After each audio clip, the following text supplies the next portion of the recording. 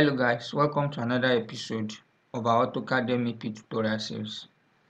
After you've trimmed all the grid lines in the entire project, you can just delete the section box or the rectangular box you created. Delete.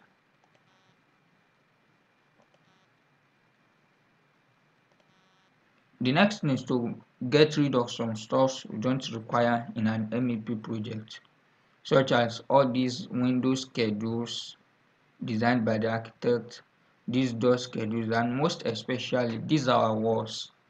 These are our walls. You observe there is some grids that pass through the walls. We don't require all these in an MEP project. So you just start to delete all these window schedule, door schedules. Moreover, all these arches you need to delete it too. We don't need it. At it been the project is in layers or done in revit and then converted to AutoCAD it would have been easier by using the select similar button.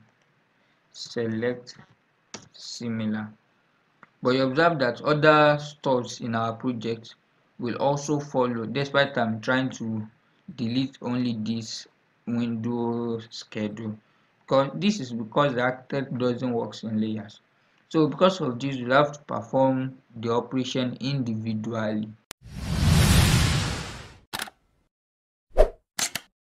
So after then, you need to create your own design styles. This is necessary because there are some operations that you don't need to be repeating. So this includes the dimension styles like this probably the annotation like this annotation if you are contented with it and the grid lines these grid lines you need to set it based on your own preference. For the dimension style you just need to come to the annotate here under dimension dimension panel. You come here and you click through. So you come to the modify the first the first panel here is the line. Which color do you prefer for the line? If probably i prefer this color or this the line type probably prefer line width 0 0.0 that means it's a thin line. For the symbol and arrow if you prefer this architectural tick i mean this tick that used to come out you can change it you can change it to dots etc second tick so you can also play with this. But my main concern is the text style here. So architect is using simplex but for me i prefer stylus. I prefer stylus or stylus bt the text color if you probably is using color 12 you can select your own color.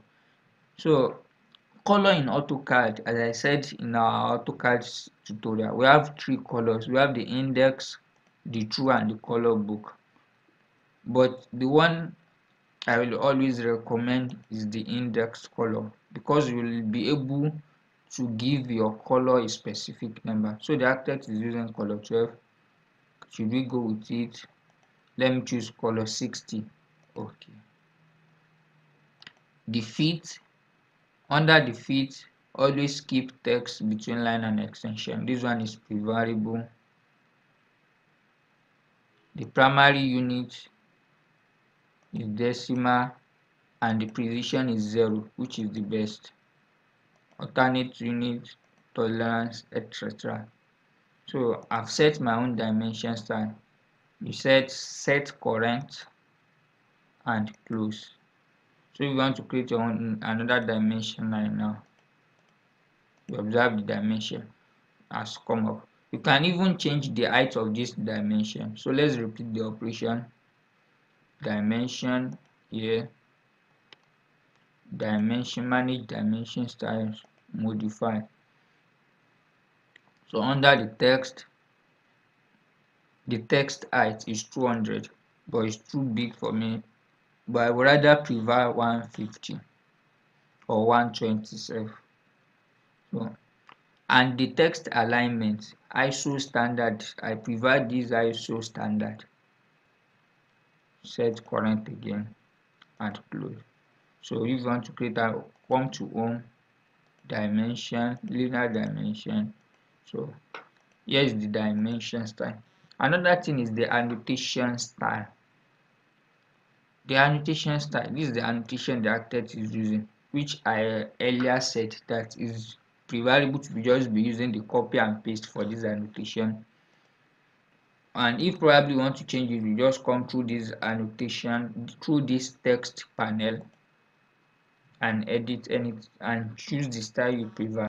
And the last one is the grid lines. Probably if you don't prefer this color of your grid lines. For me i didn't i didn't like it at all so let's just change this color. You select everything like this.